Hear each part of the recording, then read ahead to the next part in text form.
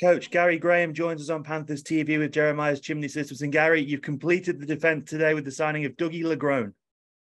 Yeah, I'm happy to have Duggie. I mean, we've been uh, we've been working on for a while. He comes from um, two really good coaches the last couple of years, and Rob Murray and Tulsa and Rod Aldoff won a championship in the Southern Pro League in Pensacola, where I had coached. And uh, both those coaches, Rod and and Rob, both do a really good job with defensemen. They've always done a really good job with details, and th- those teams play hard. They play the right way. So a lot of times when I'm recruiting guys, I kind of look for the prior coaches because I know the systems that they play and, and what we're going to be doing. So I think there's a lot of similarities there. And um, the, the one thing too is both those coaches are kind of no nonsense type of coaches. So if you can play for those two, you can play for me. And then one of, one of the good things about Duggie, I guess, is that he's already had European experience because he's, he's played out in France. So it won't take him long to adjust to the ice pad out here.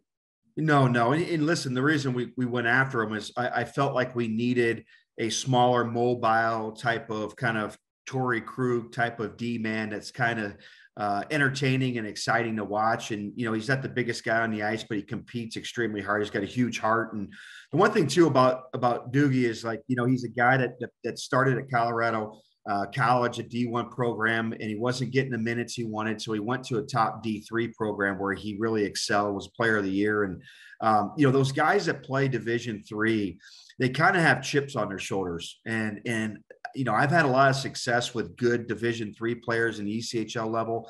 Um, these players are always are usually the hardest working guys because they've, they've always been told either they're not they're not big enough, they're not fast enough, you know, they don't have a bet, big enough shot. So they're they're kind of like always like these dogs pinned into a corner. You know what I mean? So they're always out to prove people wrong and those type of players usually work really well with me because that's the way I am. I mean, if you do your background on me, you know, I'm one of the rare coaches that's coached professional hockey that never played pro hockey. There's not many of us out there.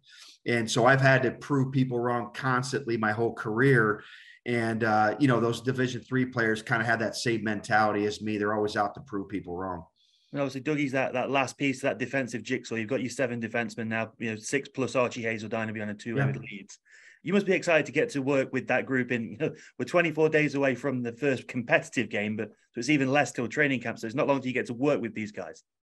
Exactly. Well, we got a lot of work to do. I mean, because we have such a new team. I mean, like I said, there wasn't there weren't a lot of returners from last year's team, and you know, the one thing again, I've been watching a lot of our film from last year. I've had a lot of downtime over the last couple weeks and you know we just were not a good team defensively you know? Um, i was talking last night actually to justin hodgman who's in fort wayne you know he lives here so i seen him at the rink last night.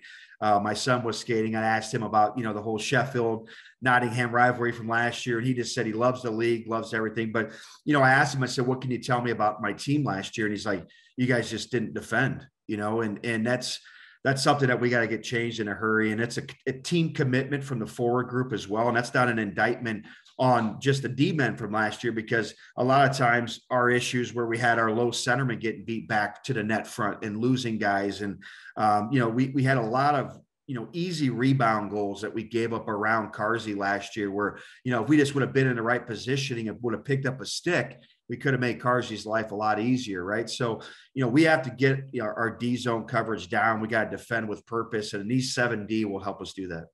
And you mentioned that you, you spoke to Justin Hodgman, obviously played for Sheffield last year. That the first competitive game we have, it will be preseason, but it will be a competitive game. I've got no doubts about that one in that in that game against Sheffield. Now you will have obviously heard all about Panther Steelers rivalry. We've spoken about it on the podcast, but to hear it from a guy like Justin Hodgman, like say, who who has lived it, played in it, has that got you more fired up for that first game on the twenty seventh now? Well, you know, it's it's exhibition. You know, I mean, like, listen, like the reality of it is, is you know, I tell guys, you know, we want to win every game, but really, you know, for me, those exhibition games with such a new group is just going to be about implementing the systems, the foundation. You know, playing around with the lines, trying to find who's got some chemistry. You know, we'll probably have three power play units to try to give a lot of guys different looks in different spots. So, you know, for me, it's it, I always use training camp and exhibition as more of an evaluation standard. However, you know the group that we brought in will be a competitive group and trust me we're going to want to win every exhibition game so i mean it'll be something on the line but you know i think that's where again some other teams you know around the league there's been a lot of turnover with different teams but you know you look at some teams they they have some of their top lines all back you know cardiff's got pretty much most their top six guys back Um, you know, you, you, you know, you, you got um, Sheffield with a lot of their top end guys backs, but they got a new cast of characters too, right? So, and they've done a very good job this summer, as well as a lot of teams. I mean, I really like the way the league is looking. I think all the coaches and the GMs have done a really good job of bringing some really good talent to our league. And so it's not going to be long to you're over here anyway, guys. So let you get back on with what you need to. But thanks for giving us the lowdown on Duggie and you know, a little preview of the preseason. And we'll see you very soon. No problem. Thanks, Dan.